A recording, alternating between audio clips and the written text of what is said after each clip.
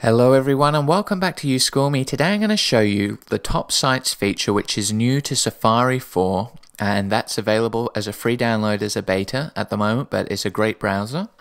So I'm going to launch Safari from my dock and as you can see it loads this great top site view. So basically um, Safari does its best to figure out what you go to the most and then depending on what your most frequently visited sites are um, it will display them in top sites. So if I wanted to go to Vimeo, I just click on Vimeo, you get a nice pop-up, and it loads the page.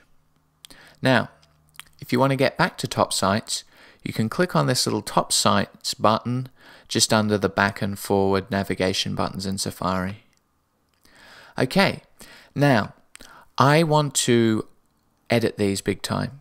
So to edit the order in which it displays them and how many it shows, we click the edit button in the lower left hand corner. Now, the first thing I'm going to do is change it from medium, which displays 12. Also, you can look at small and it will display 24 um, most visited websites there, but I want to go to large. And you can see we have these icons here. Now, the thumbtack will lock it into place. The X will delete a site. So if I delete this site, you can see it will show my next most used thing.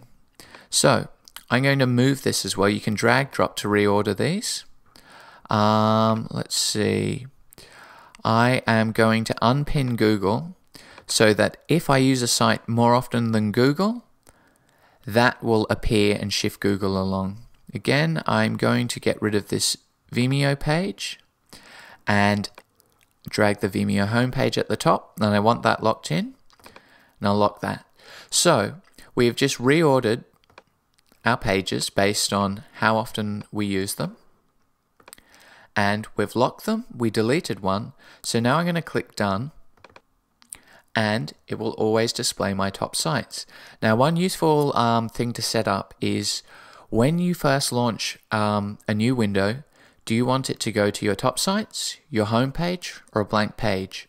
Well, to do that, we just have to click on the Safari window and choose Preferences. Shortcut key is Command, comma, and under the General tab, which is the first button, I've set mine to New Windows open with top sites and new tabs open with top sites.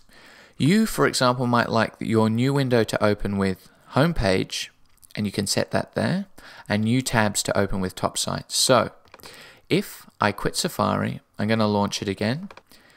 You can see by default now it goes to my homepage, but when I go to the File menu and make a new tab, it displays my top sites. And I, of course, can just click on any of these thumbnails once and it will load that page for us. So that was top sites in Safari 4. A really cool feature and a great way of quickly accessing your most used websites. Hope that was useful. Please subscribe to us on YouTube or Vimeo and check out the youschoolme.tumblr.com blog. Thanks a lot. Bye.